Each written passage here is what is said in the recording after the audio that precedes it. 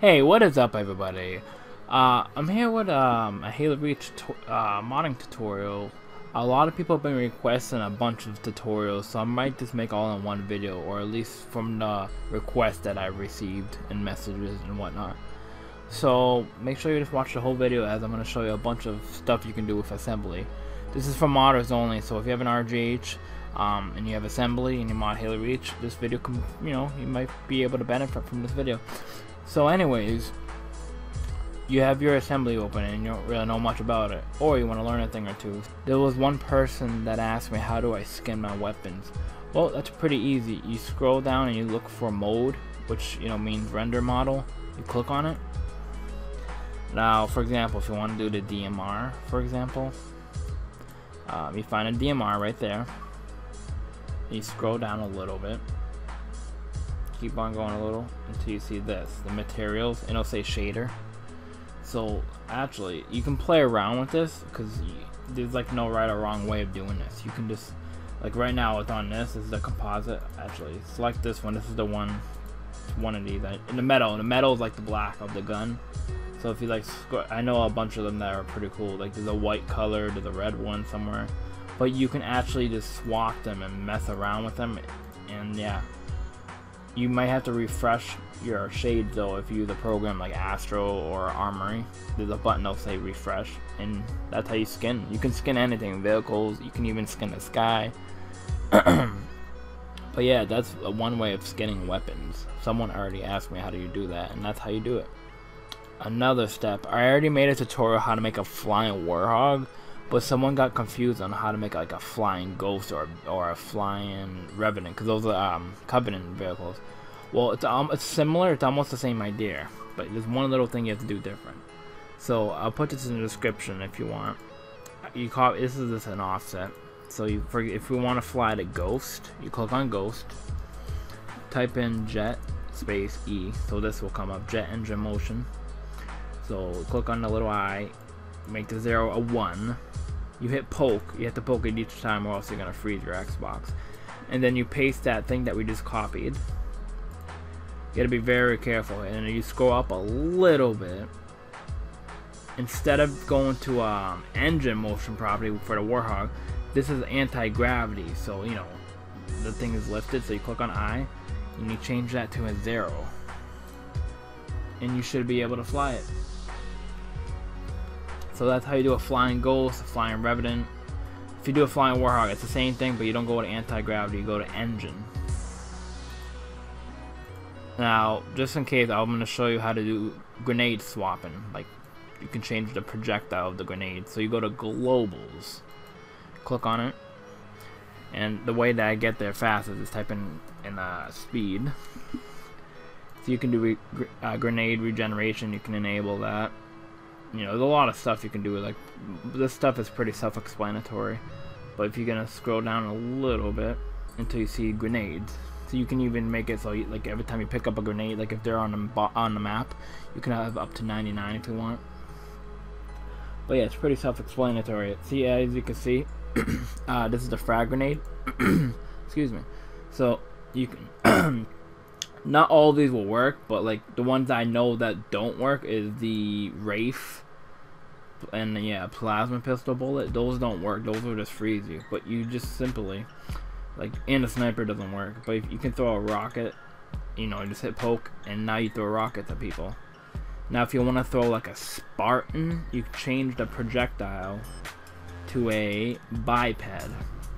Now this is just the characters of the game. Spartan, Monitor, Elite stuff like that. If you want to throw objects, you click on block.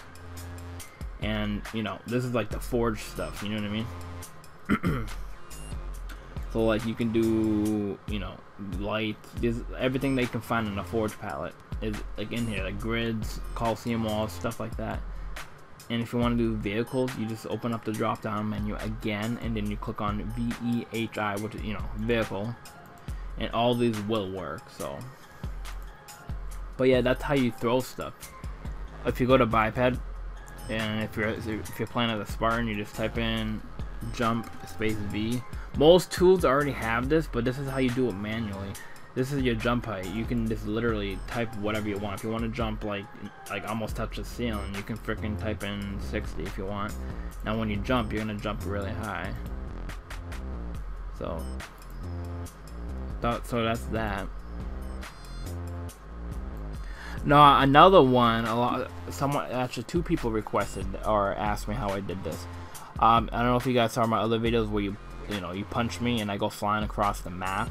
That is that one I found myself and it's pretty cool. It also works off host. You click on JPT, which is damage effect.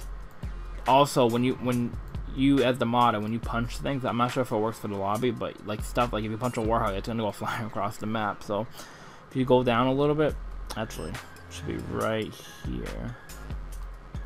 Should be strike melee melee. So if you scroll down just a little bit, and you should see this where it says acceleration. You, I usually do 30 because that's pretty good. Now if you do like you know higher than that, like like 100 or something, like it just makes it go too fast. You know, like this is pretty decent for you to punch people around. So once you put 30, people can like punch you around the map. It's pretty cool, and it also makes your melee uh, stronger. So which is awesome. So that's how you modify your melee damage.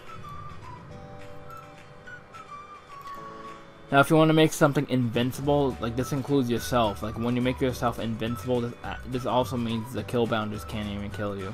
But you can also make vehicles invincible. But let's start off with the Spartan, because some people might want to be able to do that.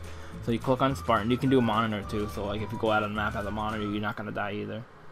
So if you scroll down a little bit until you see this, the damage info, you're gonna see cannot die from damage. So if you do that, you're now invincible.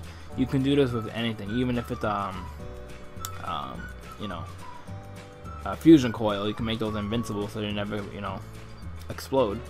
Um, but yeah, it's the same thing. You do with a vehicle or whatever, it's gonna do the same thing. It won't break. It won't do anything, which could be pretty useful because sometimes you know warhog gets like sniped the shit out of. But there's a lot more that in here that you can do. Also, another thing, if you go to the vehicle tab, uh, this one's also fun to mess with. For example, if you click on Warhog and scroll down a little bit, you can actually mess around with the gravity. Like if you do like a negative one, it's gonna make you float, but you like not enough to like drive. That's why you gotta do the flying warhog method. But like if you do negative like 4,000 or, or yeah, something like that. So if you put at negative 4,000, every single person that gets in a Warhog, whether it's, you know, non-modders, they're gonna go flying in the air, which is a fun mod to do. So that one's pretty cool. So if we go to the globals again, we were just there not too long ago. So type in speed. I'm gonna show you, because uh, people seen this in my video and they're like, oh, how do you do that? So I'm gonna show you how to make it so every single person in the lobby can like fly, like run, like you know, run really, really, really fast. So as you can see, um, this is the player information, you know, the walking speed and all that. So let me try to explain something. If you do 10, that like like this, it's not gonna work for no one except for the modder. 10 is pretty fast, but for it to register with your, you know, for it to work for everybody, you have to do like I usually do 4,000. That's perfect. So just type those like that like so and then whoops. And now every single person in the lobby is gonna run super fast. It's almost like a no clip. So um yeah there's really it's pretty cool. Um you have to be host though. This does work off host but it's a it's pretty it's really laggy because off host I can't really keep up with it. But yeah that's how you do that. Also if you go to effect so you can do you can even edit like like for example, you know when you shoot your DMR, it'll be um, you know, you can see the color of the fire. You can edit that stuff, but you can also edit armor effects. So yeah, to edit the armor effect, you just go to armor FX. Now here, you have to select one from this one where it says events. It'll tell you the name of it. That's red flames, blue flames, heart attack, pestilence, and then you know inclement weather. So for example, if you go to, you know, this is red flames, you have to scroll down one more. As you can see, you can even like change how it looks. You can, now if you go on this drop down menu, you can change it with different effects, like there's a bunch of them, like there's a plasma, it'll look like a, you know, you can make it look like different colors. If you don't want to do that, you can all, literally go down a little bit more. See the compile color function. You can actually mess with this. So you currently have red flames, right? So if you make that zero, it's just gonna see green and blue. So you can actually get it so it can be green flames. You can really mess around with that, which is pretty cool. But yeah, that is it for this video. Uh, if you guys want any more tutorials, let me know. Like, shoot down in the comment section, like, ask me what else would you like me to see. I don't mind making tutorials. I like to help everyone out. If you have any questions or if you, you know, just let me know. Hit me up with a message on Xbox. I'll put everything in the description.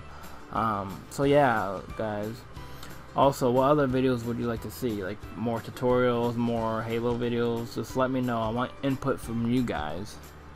So I'm only making what you guys want to see. So yeah, it's been Shady here, and I am out of here. Thank you for watching, guys.